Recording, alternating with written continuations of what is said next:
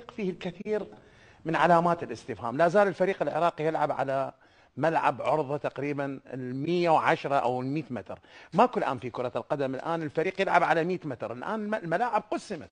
قسمت إلى حارات وإلى أقسام وإلى آه، زوايا يتم بها البناء والانتقال من أجل الزيادة العددية ومن أجل الوصول بكاملية اللاعبين والجاهزية إلى الأمام.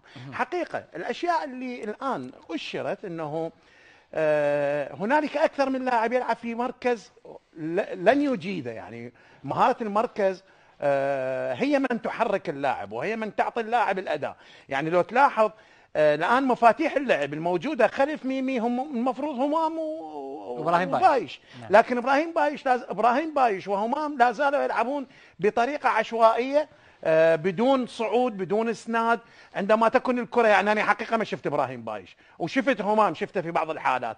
لكن الخلل الواضح والخلل القوي الآن اللي مؤشر من الجميع هو البناء التنظيمي في ساحة المنطقة في ساحة التحضير.